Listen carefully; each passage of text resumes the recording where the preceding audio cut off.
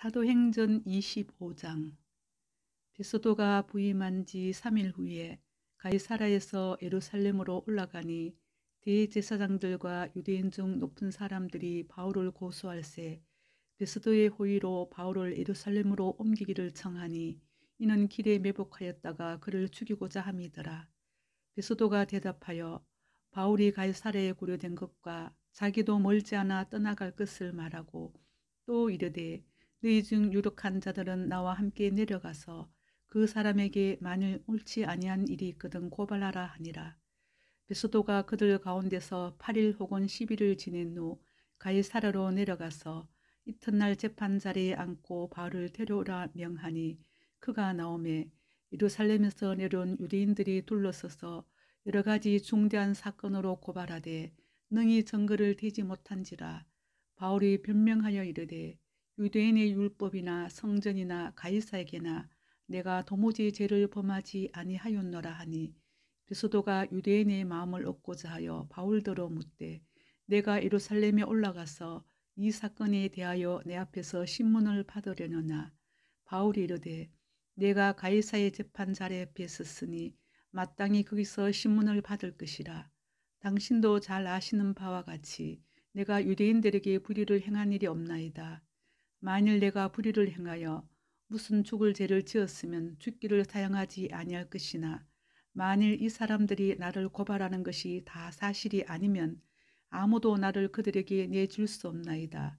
내가 가이사에게 상소하노라 한데 베소도가 배석자들과 상의하고 이르되 내가 가이사에게 상소하였으니 가이사에게 갈 것이라 하니라. 수일 후에 아그리빠 왕과 버니게가 비스도에게 문안하러 가이사라에 와서 여러 날을 있더니 비스도가 바울의 일로 왕에게 고하여 이르되 빌릭스가 한 사람을 고려하여 두었는데 내가 예루살렘에 있을 때에 유대인의 대제사장들과 장로들이 그를 고소하여 정죄하기를 청하기에 내가 대답하되 무릇 피고가 온 그들 앞에서 고소 사건에 대하여 변명할 기회가 있기 전에 주는 것은 로마 사람의 법이 아니라 하였노라. 그러므로 그들이 나와 함께 여기 오매 내가 지체하지 아니하고 이튿날 재판 자리에 앉아 명하여 그 사람을 데려왔으나 원고들이 서서 내가 짐작하던 것 같은 악행의 힘에는 하나도 지시하지 아니하고 오직 자기들의 종교와 또는 예수라는 이가 죽은 것을 살아 있다고 바울이 주장하는 그 일에 관한 문제로 고발하는 것뿐이라. 내가 이 일에 대하여 어떻게 심리하는지 몰라서 바울에게 묻되 예루살렘에 올라가서 이 일의 신문을 받으려느냐 한즉 바울은 황제의 판결을 받도록 자기를 지켜주기를 호소하므로 내가 그를 가이사에게 보내기까지 지켜두라 명하였노라 하니 아그리빠가 베스도에게 이르되 나도 이 사람의 말을 듣고자 하노라 베스도가 이르되 내일 들으시리이다 하더라.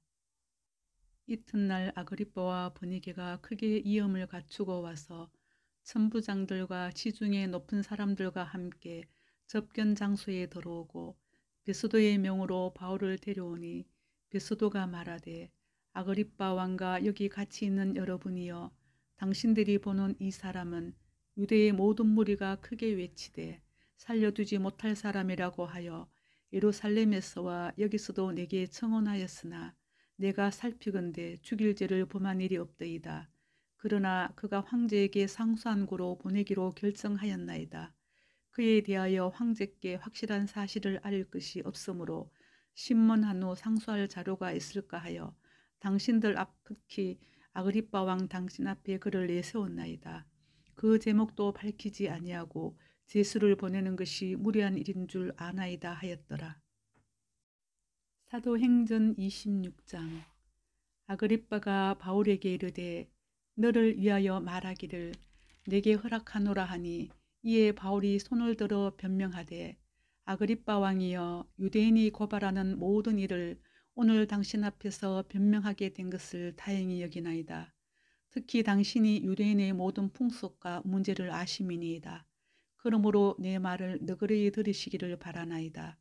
내가 처음부터 내 민족과 더불어 예루살렘에서 젊었을 때 생활한 상황을 유대인이 다 아는 바라 일찍부터 나를 알았으니 그들이 정언하려 하면 내가 우리 종교의 가장 엄한 팔을 따라 바리새인의 생활을 하였다고 할 것이라.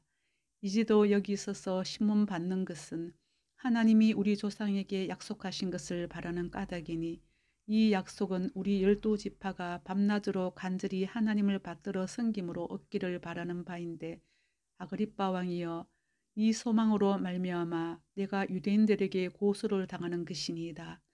당신들은 하나님이 죽은 사람을 살리심을 어찌하여 못 믿을 것으로 여기나이까 나도 나사렛 예수의 이름을 대적하여 많은 일을 행하여야 될 줄 스스로 생각하고 예루살렘에서 이른 일을 행하여 대제사장에게서 고난을 받아 가지고 많은 성들을 오게 가두며 또 죽일 때에 내가 찬성 투표를 하였고 또 모든 해당에서 여러 번 형벌하여 강제로 모독하는 말을 하게 하고 그들에 대하여 심히 격분하여 애국성에까지 가서 박해하였고 그 일로 대제사장들이 고난과 이임을 받고 담에색으로 갔나이다. 왕이여 정오가 되어 길에서 보니 하늘로부터 해보다 더 밝은 빛이 나와 내 동행들을 둘러 비추는지라. 우리가 다 땅에 엎드려짐에 내가 소리를 들으니 히브리 말로 이르되 사우라 사우라 내가 어찌하여 나를 박해하느냐? 가시체를 뒷발질하기가 내게 고생이니라. 내가 대답하되 주님 누구시니까? 주께서 이르시되 나는 내가 박해하는 예수라. 일어나 너의 발로 서라 내가 내게 나타난 것은 곧 내가 나를 본 일과 장차 내가 내게 나타날 일에 너로 종과 증인을 삼으려 함이니 이스라엘과 이방인들에게서 내가 너를 구원하여 그들에게 보내어 그 눈을 뜨게 하여 어둠에서 빛으로 사탄의 권세에서 하나님께로 돌아오게 하고 제 삶과 나를 믿어 거룩하게 된 무리 가운데서 기업을 얻게 하리라 하더이다.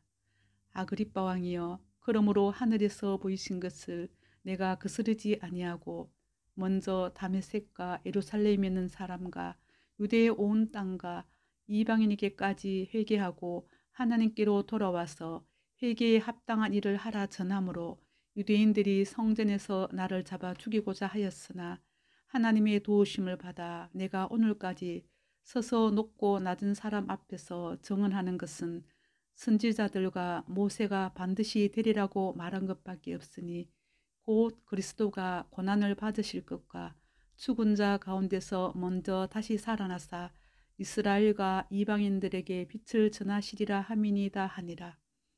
바울이 같이 변명하며 베소도가 크게 소리내어 이르되 바울아 내가 미쳤도다. 내가 많은 학문이 너를 미치게 한다 하니 바울이 이르되 베소도 각하여 내가 미친 것이 아니요 참되고 온전한 말을 하나이다. 왕께서는 이 일을 아시기로 내가 왕께 담대히 말하노니 이 일에 하나라도 아시지 못함이 없는 줄 믿나이다. 이 일은 한쪽 구석에서 행한 것이 아니니이다. 아그리빠 왕이여 선지자를 믿으시나이까 믿으시는 줄 아나이다. 아그리빠가 바울에게 이르되 내가 적은 말로 나를 권하여 그리스도인이 되게 하려 하는도다. 바울이 이르되 말이 적으나 많으나 당신뿐만 아니라 오늘 내 말을 듣는 모든 사람도 다 이렇게 결박된 것 외에는 나와 같이 되기를 하나님께 원하나이다 하니라. 왕과 총독과 분위기와 그와 함께 앉은 사람들이 다 일어나서 물러가 서로 말하되 이 사람은 사형이나 결박을 당할 만한 행위가 없다 하더라.